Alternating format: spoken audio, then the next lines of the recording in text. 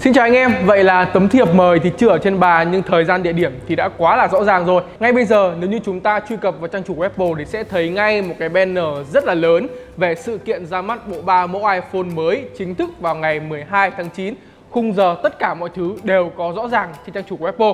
Và song song với đó thì Apple cũng đã khéo léo lồng ghép một cái thông điệp, một cái hình tròn bo như thế này cùng với một cái chữ là Gather Round. Không biết mình đọc có đúng không? Tạm dịch là tụ tập hợp lại hay tụ hợp lại gì đấy. Và cái vòng tròn này nó đã khiến cho chúng ta phải có rất là nhiều việc đồn đoán về những cái sản phẩm mới của Apple. Và ngay bây giờ chúng ta sẽ cùng nhau bàn luận về cái sự kiện sắp ra mắt của Apple và những cái bức hình chính thức đầu tiên được leak ra từ chính Apple và anh em có thể thấy ngay là mình đang cầm một chiếc Galaxy Note 9 Nhưng nếu như anh em nào mừng hứng thú với giá bán của iPhone, Đừng quên truy cập ngay đường link mua hàng, sẽ để phần mô tả video tại chuỗi hệ thống của Cellnet Những cái thiết bị iPhone X CPU hay là những cái thiết bị iPhone 7 Plus, Hiện nay đã có những cái mẫu hàng CPU với mức giá là cực kỳ thơm.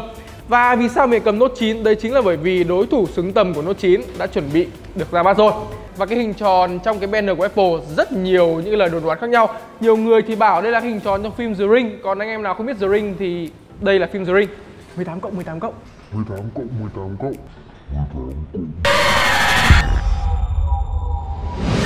Ngoài ra thì một số bạn cho rằng cái hình tròn này chính là đại diện cho một cái Apple Watch mới này Hoặc là sạc không dây hoặc là HomePod Hoặc là sự trở lại của một nút home Vì hình dáng nó rất là giống.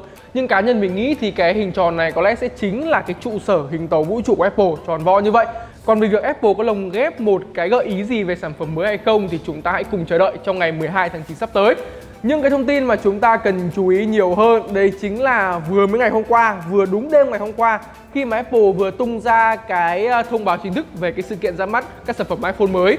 Thì ngay lập tức trang chủ 9to5 Mac đã có đăng tải những cái tấm hình được cho là leak từ nguồn trực tiếp bên phía Apple về hai mẫu iPhone mới cũng như là về một cái Apple Watch Series 4 đây là một trong những cái tấm hình phải nói là cực kỳ quý giá. Bởi vì từ trước đến nay mặc dù là chúng ta đều đã quá rõ thiết kế của những mẫu iPhone mới rồi Anh em nào mà có theo dõi những cái trang như là Everything Apple Pro, như là Jonathan Morrison, như là MKBSD Thì đều đã có những cái video trên tay, những cái phiên bản uh, model, những cái phiên bản hình mẫu của bộ ba mẫu iPhone mới. Nhưng cái hình được leak ra từ 9to5 Max lại chính là cái hình được leak ra từ nguồn gốc của Apple được cho là những cái hình sẽ được sử dụng trong buổi livestream thì chúng ta để thấy được hai cái mẫu iPhone mới. Và gần như chắc chắn cái mẫu iPhone mới này sẽ tên là XS và chúng ta đã có một cái phiên bản màu sắc hoàn toàn mới là một cái màu vàng. Anh em hãy tưởng tượng là một cái khung thép trên iPhone 10 mà chúng ta mạ màu vàng vào thì nhìn nó sẽ rất là đáng mong chờ trông khá là sang chảnh. À, mình nghĩ là tầm giá cũng sẽ cực kỳ kinh khủng. À, nhưng mình nghĩ rằng có vẻ như là Apple đã có thể làm được cái màu này từ hồi iPhone 10 rồi Nhưng mà Apple không làm. Mà đợi đến năm nay mới bán ra Kiểu mỗi năm chỉ thay đổi một chút chút thôi Nhưng mà số lượng tiền hút máu người dùng chúng ta thì lại cực kỳ nhiều. Và chúng ta đều đã biết là thiết kế của iPhone à, X cái phiên bản màn hình lớn nó như thế nào rồi và cá nhân mình khá là mong chờ phiên bản này vì không biết được là là một phiên bản iPhone 10 mà phóng to ra thì nhìn nó sẽ như thế nào um, có vẻ như là nó sẽ hơi thô hay sao nhỉ? Chúng ta hãy cùng nhau chờ đợi vào ngày 12 tháng 9 sắp tới. Ngoài ra chúng ta còn có thêm một hình leak về chiếc Apple Watch series thứ tư. À, nhìn sơ qua thì đúng như những cái gì dò dỉ chúng ta sẽ có một phiên bản với cái viền màn hình nó mỏng hơn, màn hình nó lớn hơn nhưng kích thước thì không đổi. À, mặc dù nhìn nó vẫn sẽ như thế này thôi nhưng mà chúng ta sẽ có một cái màn hình nó to hơn, nó tràn viền hơn và kích thước hiển thị nó lớn hơn. Thì anh em nghĩ sao?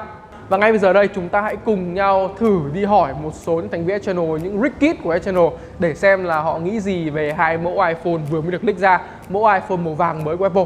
Đầu tiên là bạn Hải Triều, Rickit Rickit, một tay iPhone 6, một tay iPhone 7 Plus. Chiều em nghĩ gì về hai mẫu iPhone mới em ơi?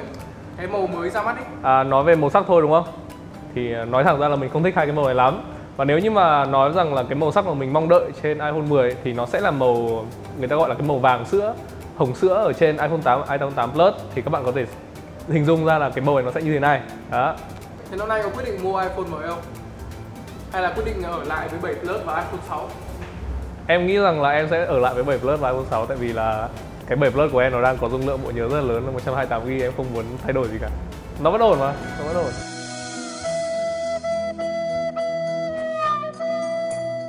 Chia tay với chùa máu liều, chúng ta có một iPhone đích thực trong S Channel. Đây, ui dồi ôi, các bạn nhìn này, MacBook thì Mac Option, một tay 7 Plus, một tay iPhone 10. Em nghĩ sao về bộ đôi iPhone ờ, mới cái màu vừa được leak ra? Em quyết định nâng cấp từ iPhone X lên không? Chắc em sẽ mua đấy the motherfucking Eagle Double G. Nghĩa là có iPhone 10 rồi nhưng mà nó ra máy mới là em vẫn quyết định mua máy mới luôn sẽ mua chắc chắn sẽ mua Vì sao? vì em là fan táo nên là em cứ mua thôi còn em cũng chẳng quan tâm Vậy là chúng ta đã có hai luồng ý kiến gần như là trái chiều. Một luồng ý kiến của một bạn reviewer thì uh, sẽ ở lại iPhone 7 Plus. Bởi vì uh, đối với bạn ý thì cái máy này nó chưa thực hấp dẫn. Nhưng đây là ý kiến của một người dùng một kiểu fan táo chính hiệu. Cứ ra máy mới là sẽ mua. Vậy còn các bạn? Còn các tùy bạn có lương mua nữa. iPhone mới hay không? Mày cần gì lương của em? Nhìn thế này không nhìn toàn toàn trả góp. Toàn trả góp Vậy anh em nghĩ sao? Anh em có ấn tượng về cái màu mới này trên bộ đôi iPhone mới hay không? Và anh em nghĩ sao về cả chiếc Apple Watch Series mới? Đừng quên chia sẻ comment ở phía bên dưới. Và ngay ngày 12 tháng 9 tới thôi, chúng ta sẽ có sự kiện ra mắt bộ ba bộ iPhone mới của Apple và nhiều người nói rằng nếu như muốn thấy được cái sự ảnh hưởng của Apple như thế nào thì hãy chờ đợi vào cái ngày Apple ra mắt sản phẩm mới thì chúng ta hãy cùng chờ đợi xem sức ảnh hưởng của Apple có thể lớn đến đâu. Một lần nữa, nếu như em hứng thú với giá bán của những thiết bị iPhone, đừng quên click vào link mua hàng. Mình sẽ để phần mô tả video tại chuỗi hệ thống của Cellnet. Còn bây giờ thì xin chào và hẹn lại anh em trong những video sau. Piu! Anh em ơi!